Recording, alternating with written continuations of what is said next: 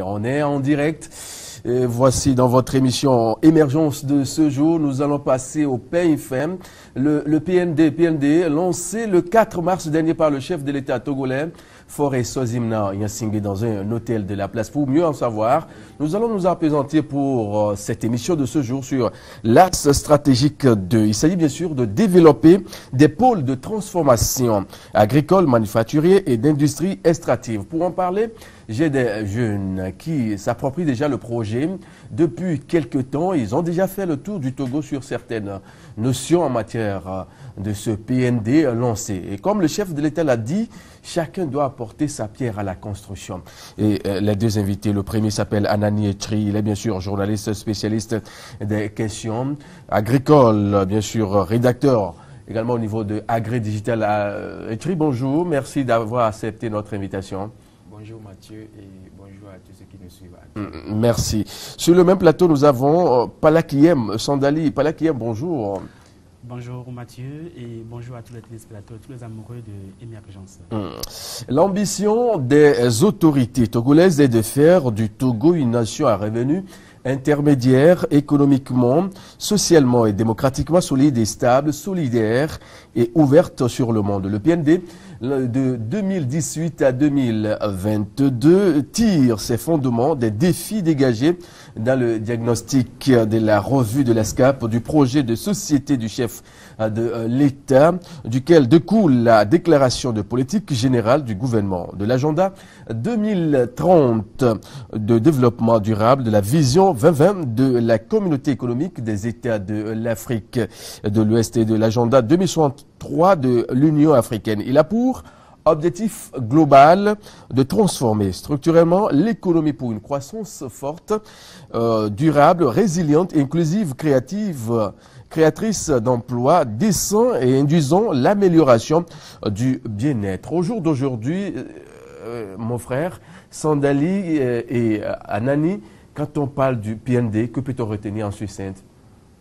Euh, Que peut-on retenir en succincte? Il faut dire que, comme vous venez de le dire, et, on veut transformer l'économie togolaise mm. euh, de façon structurelle, que euh, euh, le Togo veut compter sur lui-même, sur ses forces. Mm. Et nous sommes intéressés beaucoup plus par l'AS 2 qui parle de l'agriculture et nous, connaissons la part très importante de l'agriculture dans l'économie togolaise. Mm.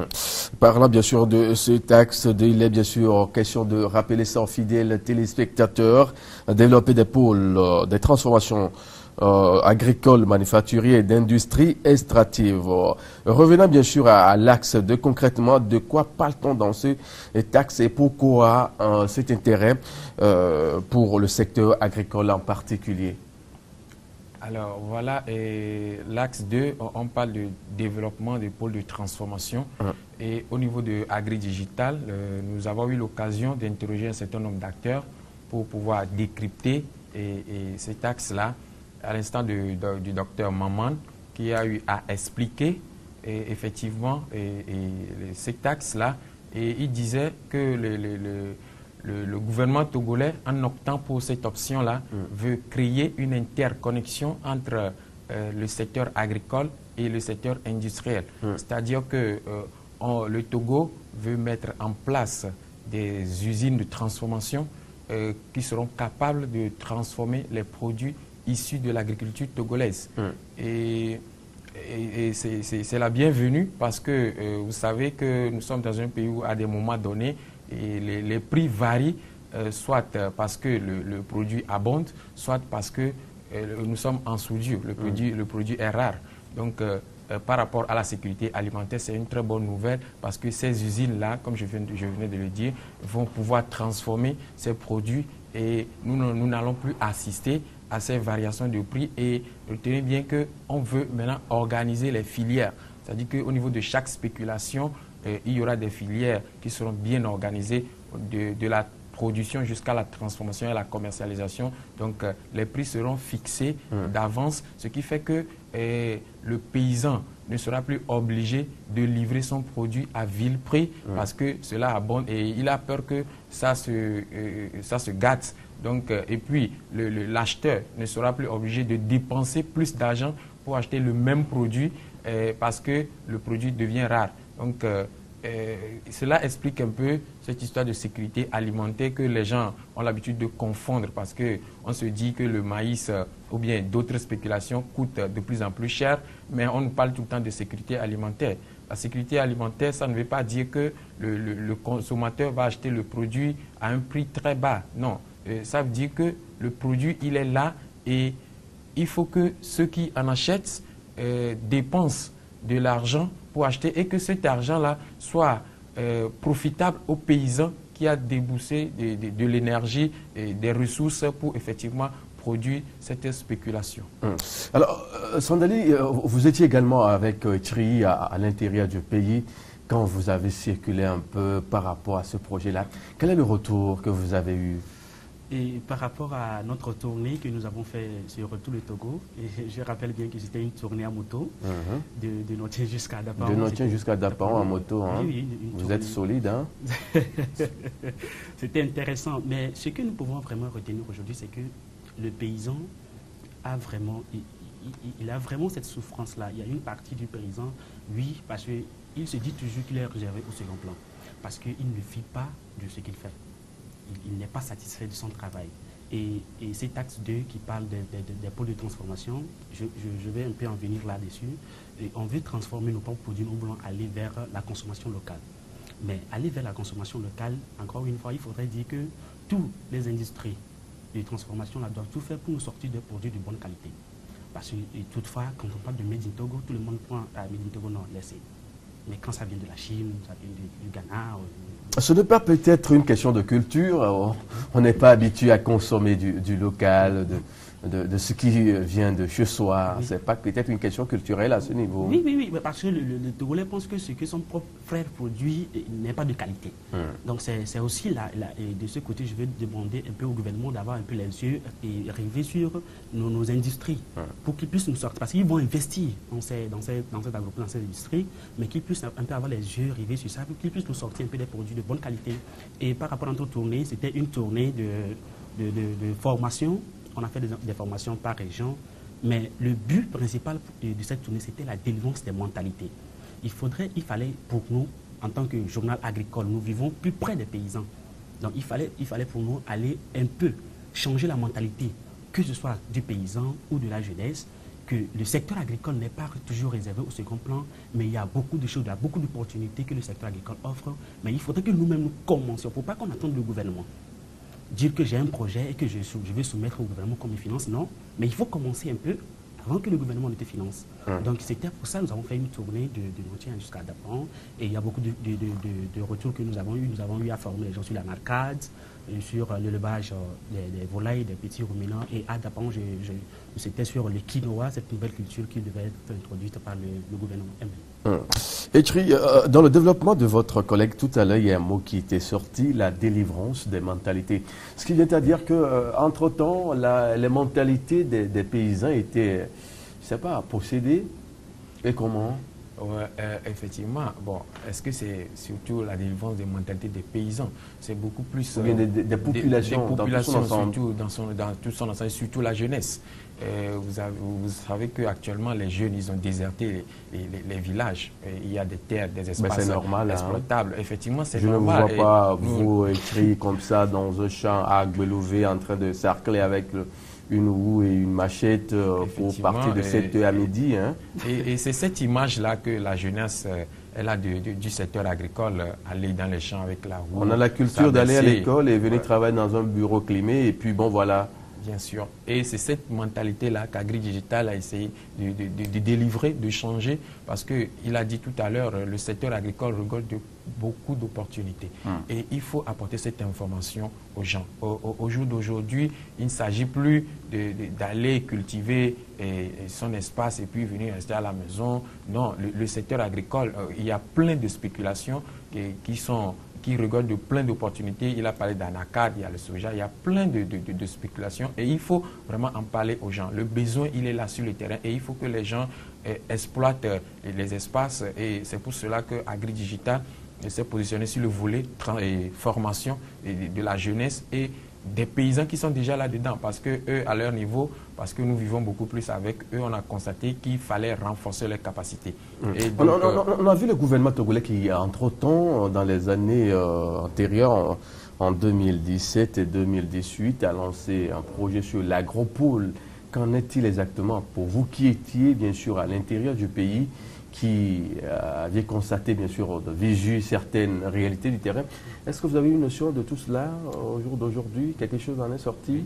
Oui, effectivement, les, agropoles, euh, les agropoles, ça veut dire qu'il y a un espace très important où il y aura des champs hum. qu'on va exploiter et à côté, il y aura des, usines de transformation, des, magasins pour conserver tout ce qui sera produit euh, au niveau de ces usines-là. Ah. Et comme nous le disons, tout ça, là, ça va contribuer à effectivement euh, améliorer l'économie du Togo parce que d'abord, on va absorber une partie de, la jeunesse qui se plaint du, du problème d'emploi parce qu'au niveau de ces usines-là, il faut que les gens travaillent pour faire fonctionner les machines. Donc euh, les, agropoles sont là pour effectivement, d'ailleurs, euh, euh, tout récemment au niveau du ministère de l'Agriculture, on a lancé des concours pour recruter 1552 agents. Donc ces agents-là seront déployés au niveau de Est-ce que vous avez eu à communiquer autour de ça aussi, le recrutement de ces jeunes-là? Parce que l'information ne passe pas de certains moments. Ça ne revient pas seulement au ministère ou au gouvernement de communiquer, mais vous qui êtes également dans le domaine, vous pouvez quand même communiquer. Postulez vous-même, ravir la vedette à un de vos jeunes frères qui se trouve peut-être à Chikawa, un peu avant, Pagoda. Euh, c'est pas bien de communiquer? Oui, c'est pour ça, nous, justement, pour ça que Agri Digital, euh, mm. il est là. Nous disons que nous nous, servons d'outils de prise de décision. Mm. Et pour que les gens prennent des décisions, ils ont besoin d'informations. Donc, euh, Agri Digital, il est là. Et je peux vous assurer qu'aujourd'hui, aucun événement, en tout cas pour ce qui concerne le secteur agricole, mm. ne passe et que Agri Digital n'en parle. Ah. Donc, euh, comme vous le dites, vous le demandez, et ce, ce, concours qui a été lancé, effectivement, nous en avons parlé sur nos nos, pages. Sandali, Père vous avez dit que vous allez faire le tour du Togo, de Notien, c'est ça? Jusqu'au Grand Nord. Ben, pourquoi pas passer par le Grand Cloto quand on sait que le Grand Cloto est le grenier euh, du Togo? Pourquoi pas faire un tour peut-être euh, dans les Kwele, Daï, Ranyigba, Fiokbo et ses à goût les TV, tout ça là. Pourquoi vous n'avez pas fait tout un tour là-bas pour quand même passer cette information-là aux gens qui actuellement nous suivent également à l'intérieur du pays? Et alors, mon collègue vient de dire tout de suite que nous vivons auprès du paysan. Hmm. Donc, les clôtures, nous avons ravagé un peu ces zones aussi. vous avez été où dans les clôtures On a été à Palimé, y a Donc, Palimé, c'est le centre ville, tout le monde peut y Kadjagan, c'est à Agou, là. À Agou, oui. on, est on est parti voir comment les, les, les, gens vivent euh, sur le pic d'Agou, la vie elle-même sur le pic d'Agou. On est allé aussi euh, au niveau du château Via non, mais ça, c'est peut-être pour aller découvrir les, les, les, beaux sites. Je ne sais pas trop. Hein. Non, non, non, ce n'était pas pour découvrir les sites, mais pour voir comment est-ce que les gens hum. On va s'intéresser à notre volet de l'actualité, bien sûr, agricole. On sait que euh, du 18 au 22 mars dernier a eu lieu une semaine africaine du climat à Accra. Et on le sait, le président ghanéen demande plus d'agressivité de quoi s'agit-il exactement? Agressivité sur quel point? Oui, ben, euh, euh, du 18 au 22, euh, il y a eu la semaine africaine. Quand on parle de l'agriculture, il faut avoir un bon climat, peut-être deux saisons sèches et plus au sud et une saison sèche et pluvieuse au nord du Togo, par exemple.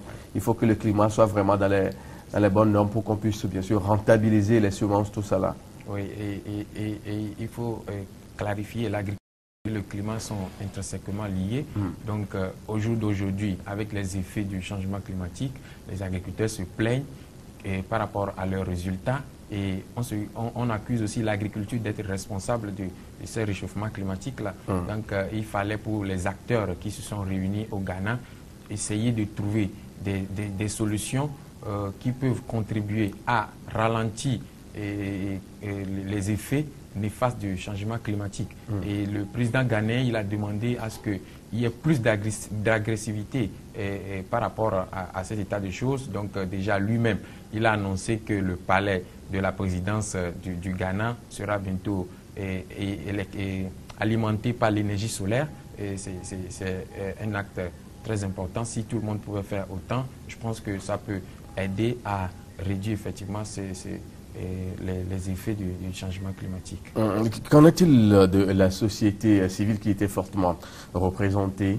Oui, la société civile, effectivement, elle était fortement représentée et il faut euh, reconnaître pour le Togo qu'au euh, niveau de la société civile, c'est une Togolaise qui est euh, à la tête de la, qui porte la voix de la mm. société civile africaine au niveau des Nations Unies. Je parle de Roland Daziaka, mm. qui a eu à défendre la société civile, qui a haussé le ton pour que on, quitte l'étape de discours pour passer à l'acte. Et elle a demandé à ce qu'on se pose des bonnes questions. Aujourd'hui, les jeunes développent des, des idées, des initiatives pour contribuer à l'amélioration euh, euh, des, changements climatiques. Elle se demande si effectivement au niveau des Nations Unies, par exemple, ou au niveau de nos États africains, est-ce qu'on connaît le coût de ces initiatives-là pour l'amener auprès des petits paysans au village pour qu'on puisse arriver à cette gestion durable des ressources. Hum. Sandali, peut-être un mot avant qu'on ne marque la pause. Oui, il faut aussi reconnaître que le président Gagné disait aussi que nous ne sommes pas la cause de ce changement. Hum. C'est-à-dire qu'aujourd'hui l'Afrique souffre, nous ne sommes pas la cause, mais il faudrait nous aussi faire autant pour pouvoir pallier à ce phénomène. Hmm. Donc euh, c'est pour ça moi je vais un peu opter peut-être euh, par la création des mini-forêts, euh, beaucoup de choses, parce que je ne vais pas donner son nom, mais un confrère qui est déjà au niveau de, de, notre on va, on va devoir marquer une pause. Messieurs, vous regardez Émergent sur votre antenne info 1 du groupe Niveau Télé. Nous allons devoir marquer une pause qui est très importante. L'information juste derrière. On se retrouve pour la suite de cette émission.